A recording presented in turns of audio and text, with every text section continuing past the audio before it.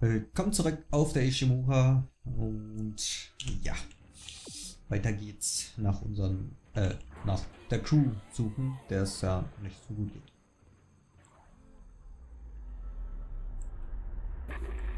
Isaac, mach uns wieder ganz. Äh, Nicole. Nicole.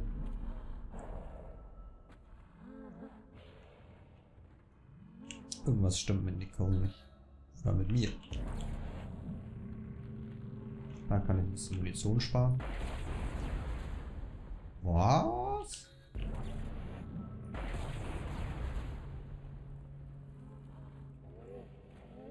Viel hält er aus?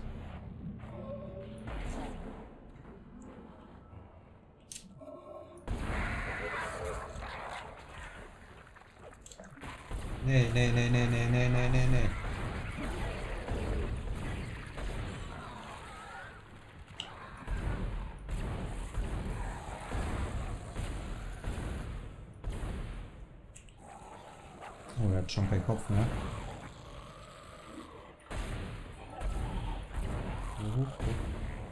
Oh. Ciao.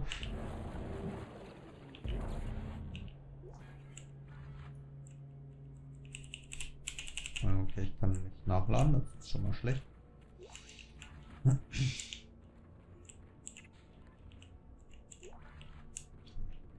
soll ich denn mit der Abo? Kann ich also gar nicht gebrauchen. Äh, gut, dann haben wir den auch fertig. So, wieder zurück. Der hat nichts da gelassen für mich.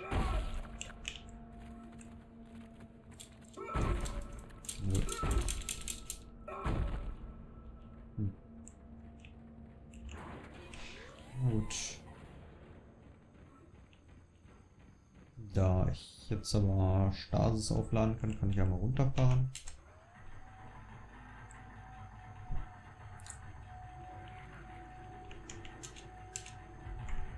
Das Ding ja so rasend schnell fährt, kann ich in der Zeit auch laden.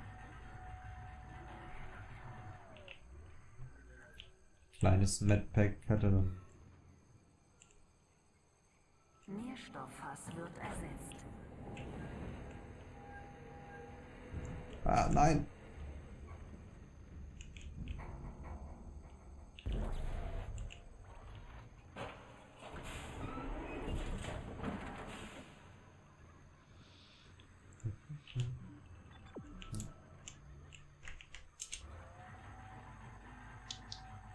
Ist mir da, wo ich vorhin schon oder im letzten Part schon reingeschaut hatte, wo wir den Typ mit dem Bombenarm hatten. So mit dem, mit dem explodierenden Arm. Ach, in die Richtung müssen wir, okay.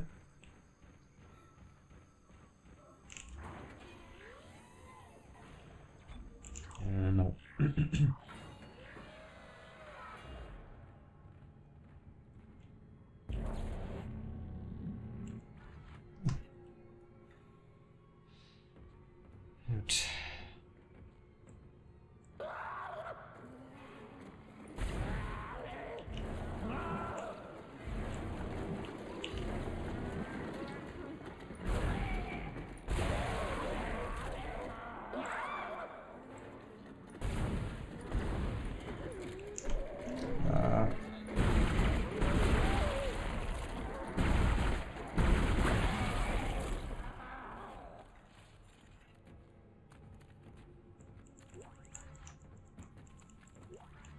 Wirklich schwer sind die jetzt nicht, aber wenn die einen überraschen, dann hat man halt ein bisschen die Arschkarte. Äh, ich wollte eigentlich das greifen und auf die werfen, aber das hat nicht ganz so geklappt, wie ich wollte. Vielleicht wegen der Entfernung. Noch irgendwas hier? Nee. Dann schauen wir mal nach, weiter nach der Crew. Nach der infizierten, verseuchten Crew.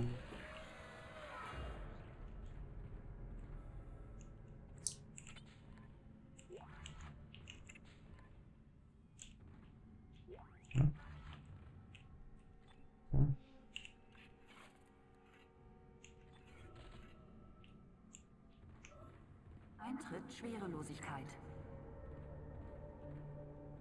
Ah, schön.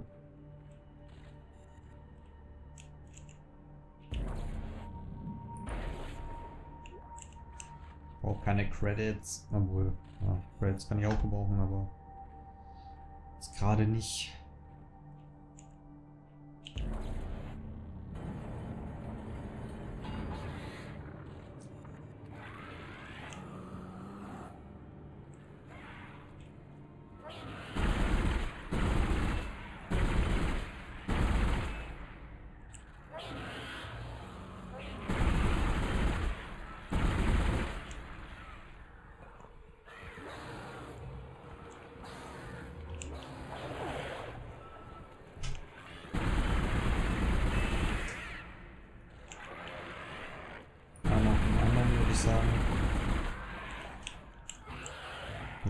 Glück hatte, dass der andere mich nicht attackiert hat.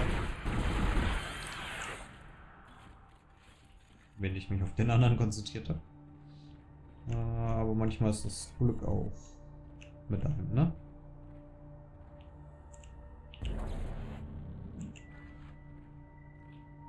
Noch irgendwas? Glaube nicht.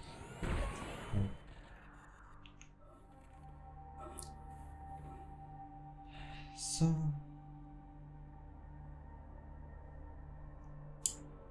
Sich jetzt hier nix. Gut, dann äh, Orientierung da lang. Wenn es geht. Natürlich nicht. Kann ich von unten. Oh, ein fliegender Fuß. Vielleicht kann ich. Ist das nicht weit genug auf? Oder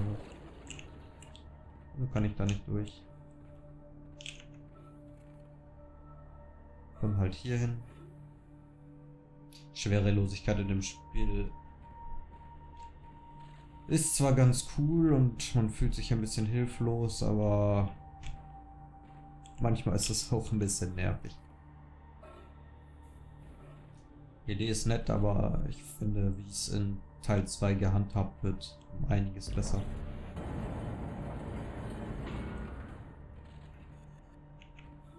Freue mich auch schon auf Teil 2. Nee, ich glaube nicht. Mach mich nie so an, du. Salut. Ja, sehr gut. Oh, okay, schon voll.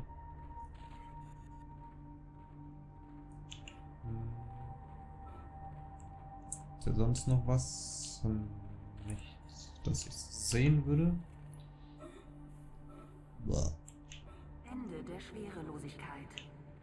Eintritt Schwerelosigkeit. Ende der Schwerelosigkeit. Logik verstehe ich zwar immer noch nicht ganz, aber vielleicht hat es mit diesen Platten zu tun. Warum hier Schwerelosigkeit herrscht und dahinter nicht, aber naja. Ich nehme an, es hat was damit. Luftfilterraum. Achtung!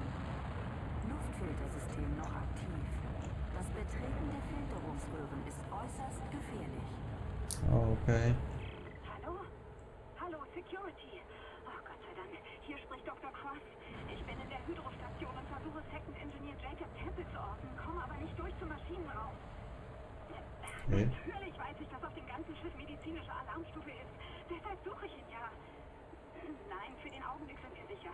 Aber die Monorail ist defekt und wir können nicht zu den Rettungskapseln. Hallo? Hallo? Oh je. Ah, toll. Von der Seite komme ich natürlich nicht dran. Das heißt, ich muss durch diese schöne Flammenkammer.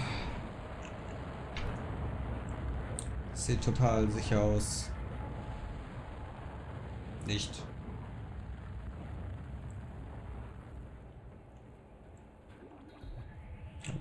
Plasma-Kata-Munition. Das ist sehr gut. Das kriege ich auch so auf.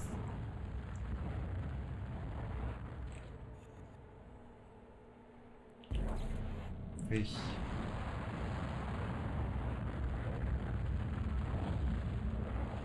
Dich so auf? Ja, tatsächlich.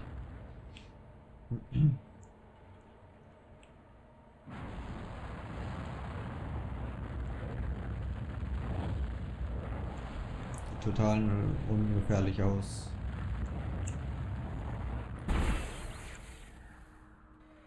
Äh.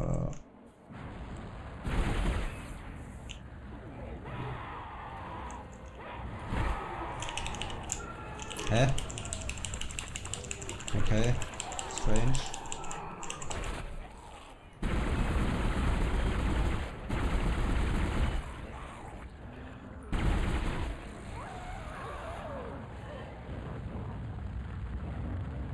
Ich glaube, da wollten wir durch.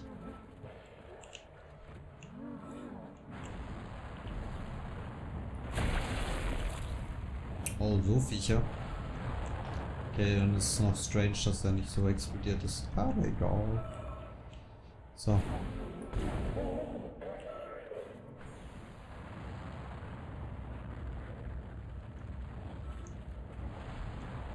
Irgendwas zum Einsammeln hier. Okay, dann wieder hoch.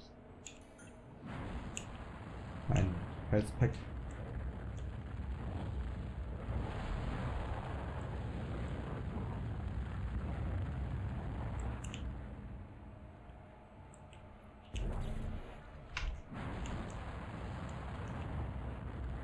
Ich will zwar gerne da hinten noch gucken, aber das ist, ist mir nicht wert.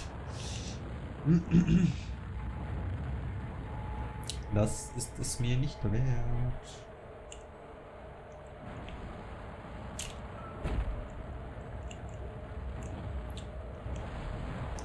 Lang müssen wir jetzt da? Ja, ich glaube, hier kann ich das auch abstellen.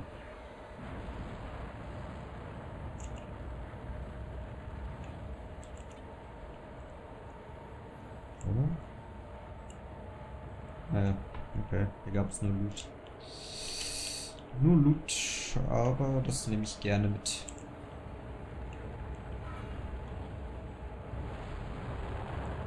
Dann geht's weiter hier lang. Ich glaube, diese Seite hätten wir damit erledigt.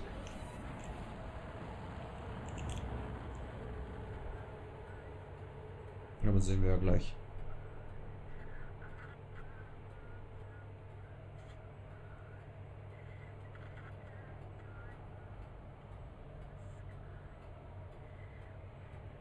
Wie das? Es läuft ganz leise Twinkle Twinkle Little Star.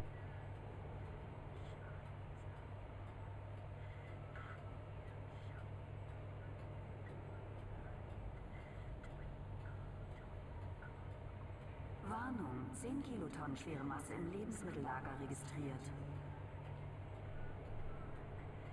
Das ist, glaube ich, ein schweres Ding.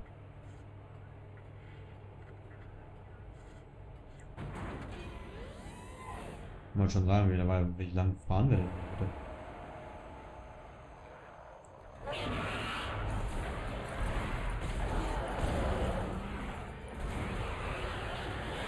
Au!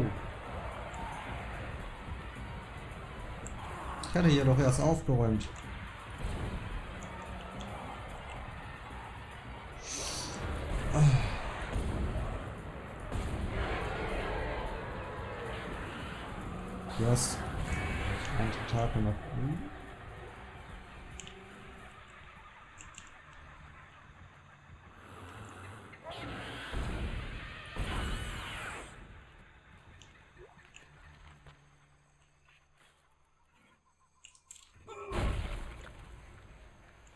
Was eine Begrüßung. Ah, wie viel habe ich eigentlich jetzt von der Strahlenkanone?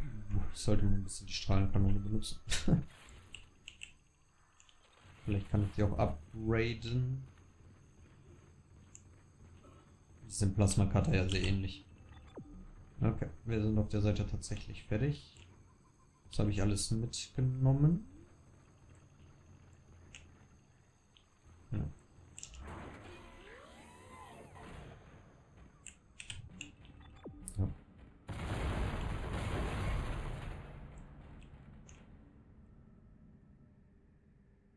Okay. Ich glaube, die Lüftungsschächte sind ein bisschen überlastet. oh Mann.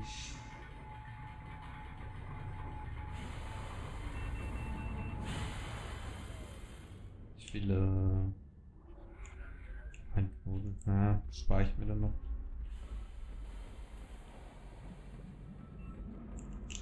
Ist hier vielleicht was Neues?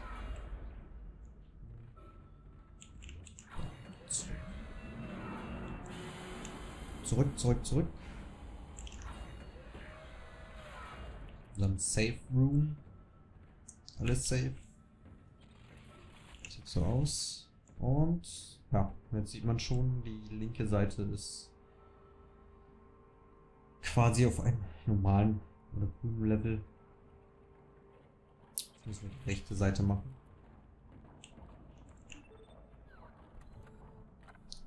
Aber 12 Kilotonnen Masse ist schon äh, großes, äh, große Sache.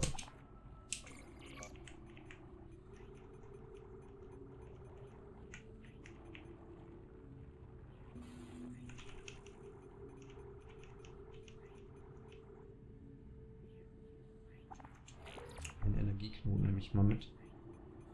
Noch sehen, was der letzte Anzug kostet? 20.000, dann wird der nächste mindestens 30 kosten. Und ich glaube, so langsam wird es Zeit für einen neuen. Ich nehme trotzdem noch einmal Plasmakarte mit.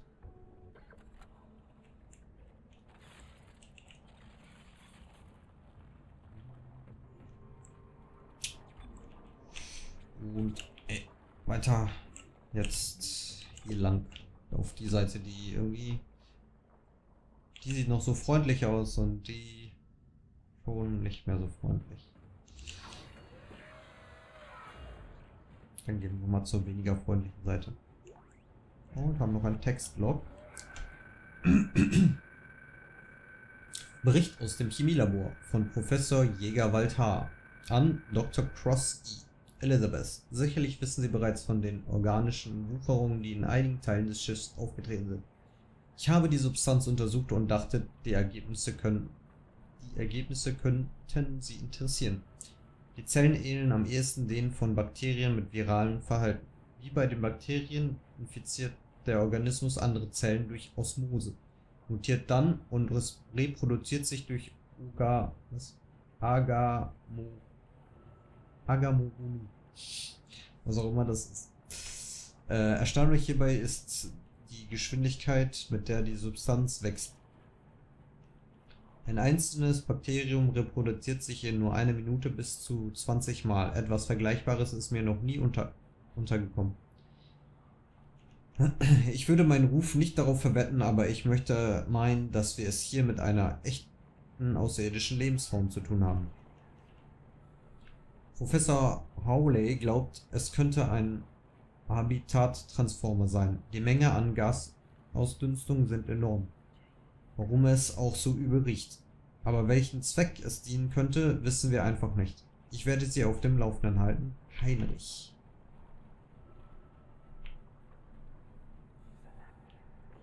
Also Jägerwald Heinrich klingt nach einem deutschen Namen.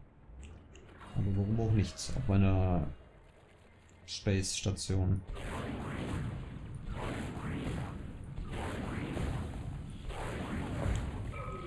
Ich hasse diese Dinger.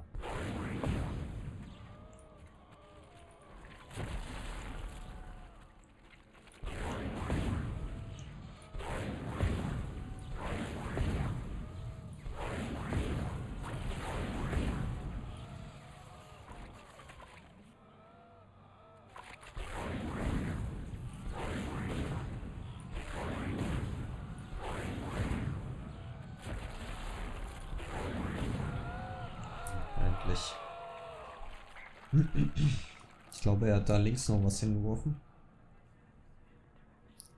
Dann schaue ich mal erstmal zur Sicherheit. Ah, ne, okay. Hat keinen Platz dafür. Hat er noch was fallen lassen? Ah. Ah, okay. Kann ich mit einer Power Node rein? Gehen wir erstmal da rein.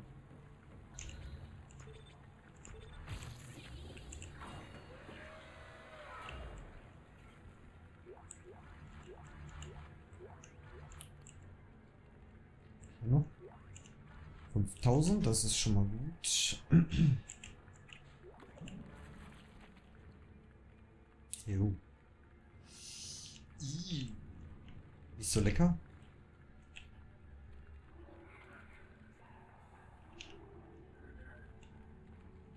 Ziemlich viele große Health Packs. Ich werde trotzdem mal ein kleines nehmen.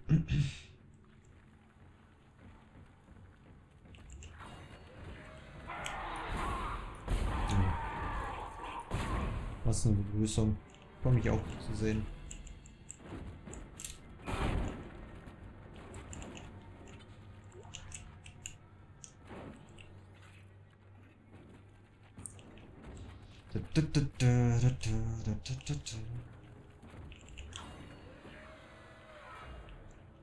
Hier ist noch eine Workbench.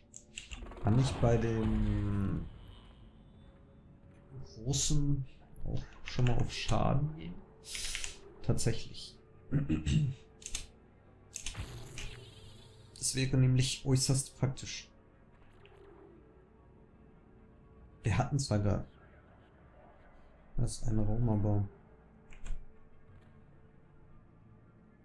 ich will trotzdem irgendwie immer einen auf Reserve haben.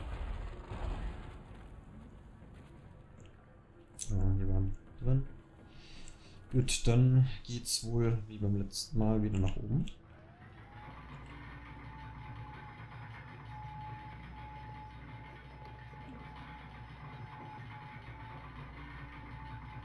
Werden wir hier auch wieder wartet. Vegetative Anomalien in der Wachstumskammer Ost registriert. Naja gut, wie es in der Wachstumskammer oder Anbaukammer Ost aussieht, schauen wir uns beim nächsten Mal an. Wenn euch das Video gefallen hat, könnt ihr gerne ein Like da lassen und wenn ihr mehr Videos von mir sehen wollt, auch in Zukunft, könnt ihr meinen Channel gerne abonnieren, wenn ihr wollt. Und dann hoffentlich sehen wir uns im nächsten Video. Tschüss!